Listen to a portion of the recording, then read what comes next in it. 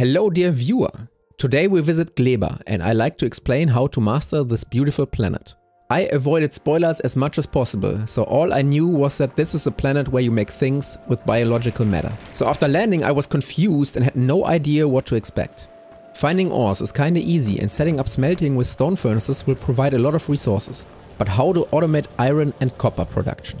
Figuring out what to do was a struggle as the game failed to unlock the Gleba briefing tips and tricks. Nevertheless, after collecting jelly nuts and Yumakos, I tried processing them. I had no idea about the spoilage feature and was totally shocked after seeing all my precious items becoming waste. After crafting biochambers, the next hammer hit me. These machines need nutrients to run, and they spoil as well, my gosh. Setting up spaghetti and weird loops to get this under control, but nothing really worked well. Do we just use bots for this logistical problem? Not gonna lie, I was thinking about it but quickly realized that I want to master this planet the good old Factorio way, with belts and inserters. So let's go to the drawing board and figure this all out.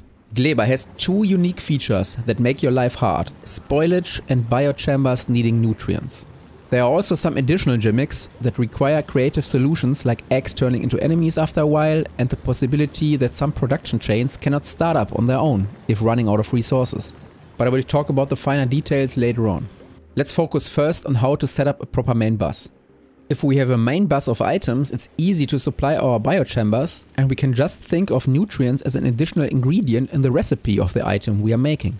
A machine needing fuel also isn't really new. We all successfully set up early game furnaces that need coal without issues. Or we set up production with three or even more ingredients. So what really makes this a unique challenge? Spoilage. All Gleba bioproducts can spoil inside our biochambers and on all belts.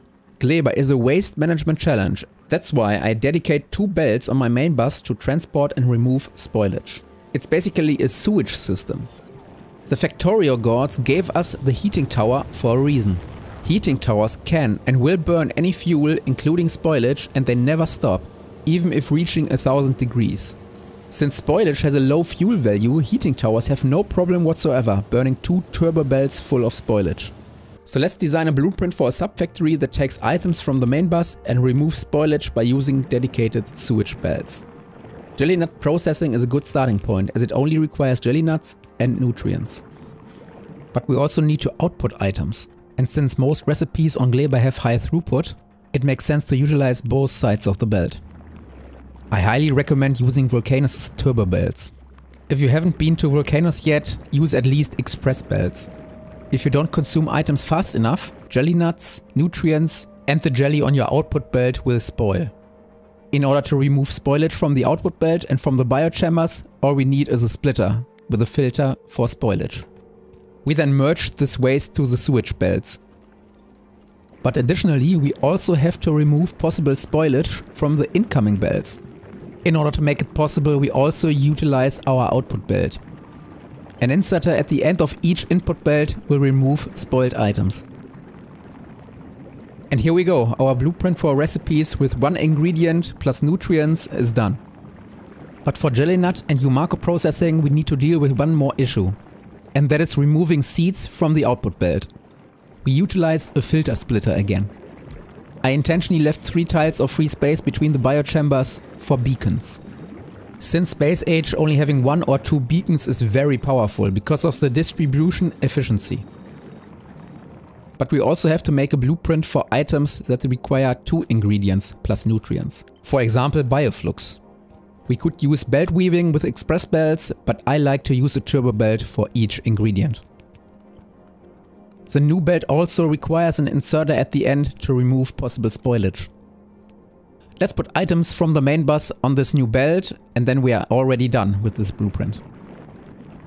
Works like a charm. We can now use these blueprints as a baseline for all recipes and items.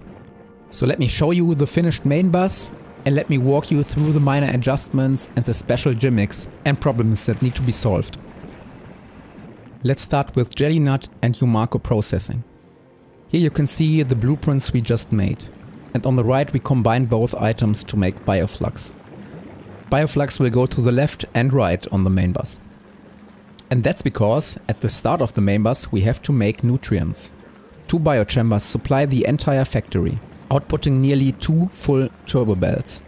There's a loopback on the output belt, making sure that these biochambers supply themselves with nutrients. There's also a regular assembling machine and a chest full of spoilage to kickstart the production of nutrients if the entire base shuts down for a while. Next, let's look at the part of the main bus where we make regular non-Gleba items. The first column creates sulfur and plastic, second column lubricant and rocket fuel, and to the right production of iron and copper ore. There's an additional biochamber at the top with regular bacteria production.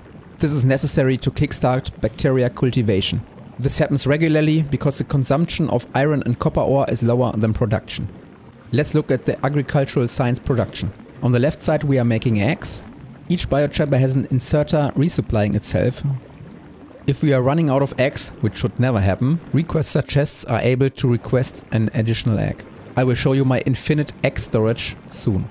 For obvious reasons, biochambers making science should be able to consume more eggs than you are actually producing. There are two Tesla turrets for a worst case scenario. Science packs will go to the top where we have a dedicated rocket silo. Automatic requests from space platforms are disabled. And we use an inserter with spoil priority fresh first. I'm not 100% satisfied with this solution and I want to make a video about agricultural science freshness soon. Next we will take a look at the infinite egg storage, carbon and carbon fiber production. The infinite egg storage uses low amounts of spoilage to make sure that there will always be one egg available at all times. You will find the blueprint in the description below. And here we are using spoilage to make carbon. And if the carbon belt backs up, we are storing it in a chest and we are also burning it if the chest reaches more than 200 items. We need carbon for coal synthesis, to make explosives for artillery shells, and for carbon fiber and because I'm overproducing, the belts are full of spoilage. It's also very important to talk about energy production on Gleba. I've seen people build nuclear power plants, but why? Energy is basically free on this planet. All you need to do is produce large amounts of rocket fuel, build heating towers and turbines. I can produce more than 200 megawatts with just a couple heating towers, allowing me to use a gazillion Tesla turrets for base defense, drawing over 120 megawatts continuously. It's also important to note that biochambers do not draw electric power at all, so definitely use beacons and modules. It will increase nutrient consumption, but that's actually a good thing because you want to consume bioproducts and keep the belts moving. Other than stone, resources on Gleba are infinite, which is kind of ironic, because this planet is all about waste management, but there is actually no waste. We are using spoilage to make items, burning it to produce energy, and because resources are endless, losing items to spoilage doesn't really matter. Finally, I haven't talked about this part of the base yet, and that's because it's not really that special. Just the usual stuff. Making items for base expansion, artillery, rocket launchers, modules and beacons. After completing my Gleba base, I was looking at other content creators to see how they solved this planet. And it was always a bot-based factory. What do you think? What's better? Bots or belts. Okay, I hope this video was helpful to you. And I will most likely make more videos about Gleba in the future. Thanks, bye.